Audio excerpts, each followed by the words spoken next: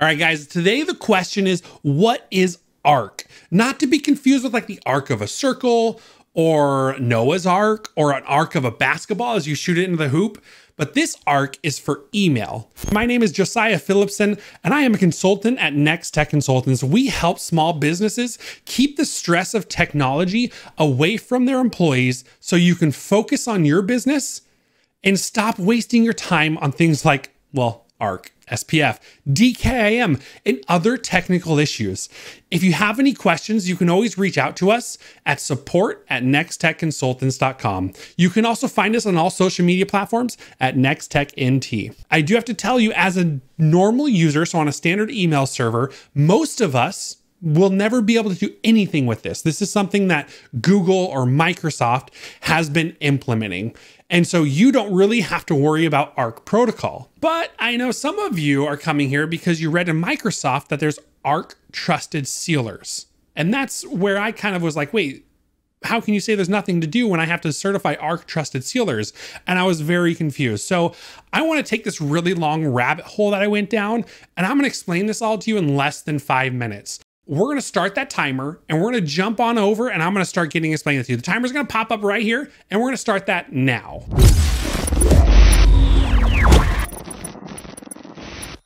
All right, that clock is running. ARC or authenticated receive chain. What it does, it keeps your verification from SPF, DKIM, and DMARC all in your email intact, even if your message is forwarded or used by a third party before it gets sent out to your clients. For example, if I am going to send a message to subscribers at nexttechconsultants.com, and that is a distribution list that I've set up.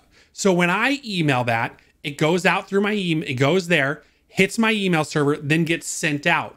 But before it gets sent out, Microsoft or my other third party provider puts a little thing at the bottom that says, oh, hey, you can easily unsubscribe here because if you're sending out messages in bulk, you want to make sure there's an easily unsubscribe link. That has to deal with the Google policy that's coming out. I have another video on that, link in the description.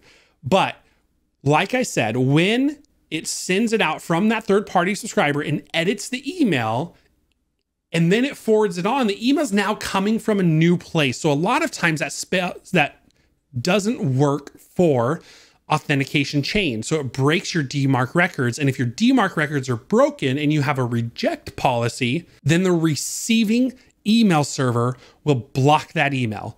So what ARC does is it wraps all of that up nicely with three headers. And those three headers keep intact all of the information from the original email. Those headers are ARC seal, ARC message headers, and ARC authentication results. So ARC seal is the person who is sending the email. So they are the person that has edited the email. And that's where in Microsoft, when you're like, hey, how do I get the ARC seal? And how do I make sure that we can move forward with our emails? And we trust certain ones. So even though it's in an ARC record, you can say whether you trust the ARC sealer or not. And so what they've done is they've edited the message somehow. And then they're putting their name in there saying, We edited this, we're the ARC sealer, and we're the ones forwarding this on for them. So let's say there was a bad third party person, you can go to Microsoft and you say, hey, my trusted ARC sealer is not badcompany.xyz. So if anything comes from that ARC sealer, you can block it. And that's what the Microsoft ARC seal is.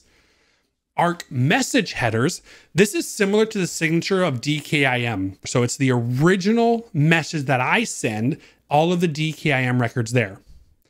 And then ARC authentication results is the third header, and that's a copy of the original email SPF, DKIM, and DMARC results. What happened and what did we check? Did it pass and did it not? All right, like I said, for most of us, we don't even have to worry about ARC headers and ARC and all of that. But if you do manage your own email servers and you send messages through them, then you're going to want to make sure that your ARC headers are set up properly. So again, I'm going to show them on the screen again. It is ARC sealer, ARC message headers, and ARC authentication results. And I do have a link in the description below that'll take you to a place that tells you a little bit more about this if you are an email sender. Finally, if you are managing someone's Microsoft or Google emails and you're looking for like, how do I trust an ARC sealer? What you're going to do is you're going to look in the ARC seal header and there's an entry that says D equals and a domain name. You're going to take that domain name and you're going to make that your ARC trusted sealer.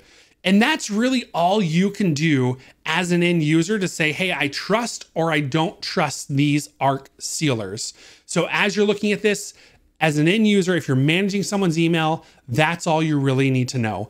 If you are an email server provider and you're actually building headers for emails that are sent out, then you need to make sure that you're wrapping the SPF, the DKIM, and the DMARC records all back up in a nice arc, like Noah's Ark and send it off to the new email person. All right, in time. I'm pretty sure I made that in five minutes. I don't have the timer on me right now. I was like, you know, we're going to edit and see if I did. I'm pretty sure I did. So I appreciate you guys sticking around. And if you do have any questions, make sure you leave them in the comments below. I love answering your guys' questions. It's fun for me.